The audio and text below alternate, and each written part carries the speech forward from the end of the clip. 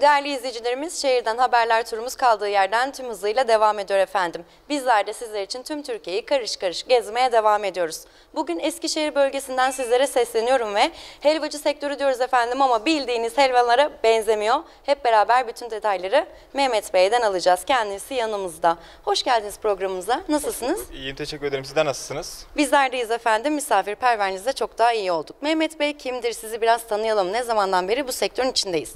Ee, ben yaklaşık 12 yıldır bu sektörün içerisindeyim. Ee, işletmemizin sahibi asıl patronumuz Mansur Bey. Ee, kendisi İranlı. Burada yatırımcımız. Ben de bu işletmenin işletme me- e, müdürüyüm.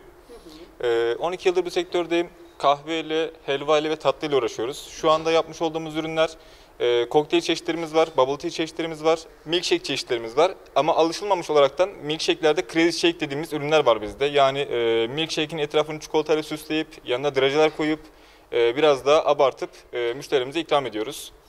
Aslında burada benim de e, gördüğüm hem kafe e, konsepti yapmışsınız efendim hem de helvayı olarak yanında ikram ediyorsunuz gibi bir aslında helvacı tabelası adı altında bir kafe sektörü görüyorum ben burada. Kesinlikle öyle. E, helvacı tabelamız yazıyor ama asıl bizim işimiz burada kahve, helva ve tatlı.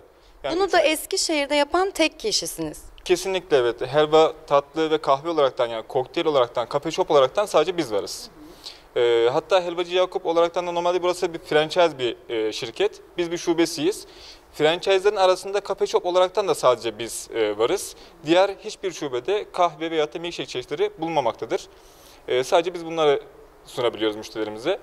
E, helvanın yanında, içeceklerin yanında ayrıca şu an bizde e, waffle ikramı da sunuyoruz müşterilerimize. E, tostumuz da var ve ilerleyen dönemlerde diğer üçüncü nesil tatlıcılık dediğimiz ürünler de mevcut olacaklar. E, bu şekilde kariyerimize devam etmeyi düşünüyoruz. Peki bu sektörde çok e, siz kendiniz eskisiniz ama isim olarak daha yeniyiz burada. Bunun e, ilerleyen zamanlardaki hedefleriniz nelerdir burası için? E, ilerleyen zamanlardaki hedeflerimiz için e, önce bu şubeyi e, canlandırıp daha sonrası için şube sayısını çoğaltmak, e, menü yelpazemizi genişletmek. Yani daha çok böyle bulunduğumuz yerdeki insanların e, taleplerine göre isteklerini karşılamak. Peki e, bu sektörde, hizmet sektöründe özellikle müşterilerin geri dönüşleri çok önemli efendim. Hem sizler için hem müşterilerimiz için. E, sizin ne gibi geri dönüşler sağladılar? Şu an için geri dönüşlerimiz çok iyi. Yani çok olumsuz bir geri dönüş almadık. Ee, hem helvada olsun hem e, waffle'da olsun. Özellikle waffle'ımızı şu an çok beğeniyorlar.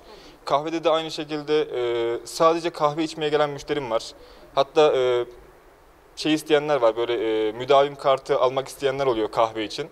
E, şu anda kullandığım kahve gerçekten %100 arabik bir kahve ve e, lezzeti, aroması güzel bir kahve. Peki efendim bir sonraki durakta görüşünceye dek hoşçakalın.